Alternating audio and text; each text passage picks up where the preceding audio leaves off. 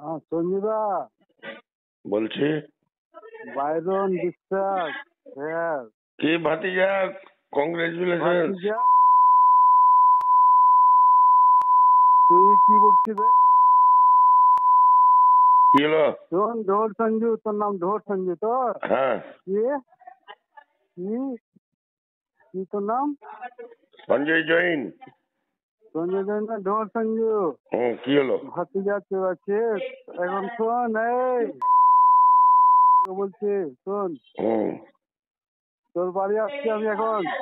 ঠিক আছে এখন লুকাবি লুকা সাগরদিঘির কংগ্রেস বিধায়ক বাইরন বিশ্বাসের বিরুদ্ধে এফআইআর দায়ের হতেই তদন্ত শুরু করল মুর্শিদাবাদের শামসেরগঞ্জ থানার পুলিশ।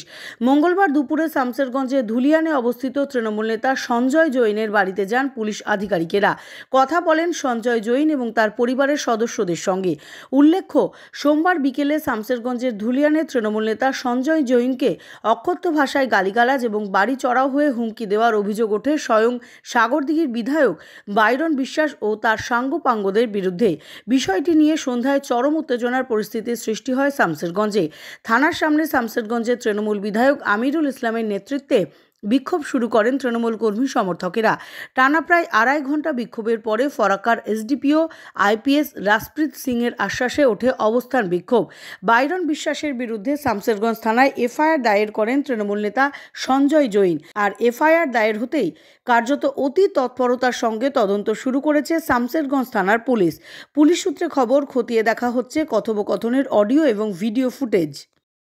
সেটা তো আমারও প্রশ্ন, কেন গালি দিল?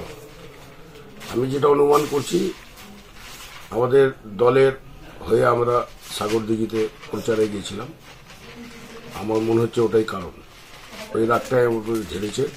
আর ওর সঙ্গে তো আমার কোনো সম্পর্কই নেই।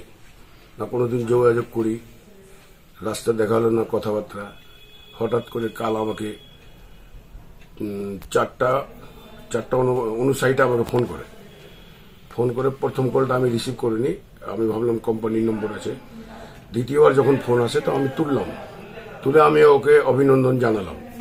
অভিনন্দন জানাবার পরে মা বোন তুলে একদম যা ইচ্ছা তাই গাল দিয়ে আমাকে ধমকি দিয়েছিল ফোনে যে, আমি আসছি তোর বাড়ি। আমি বললাম, আসো। দশ পনেরো মিনিট পরে এসে আমার বাড়ির সামনে যা ইচ্ছা তাই গালাগালি, পুলিশ নিজে কাজ করছে ইনভেস্টিগেশন করছে।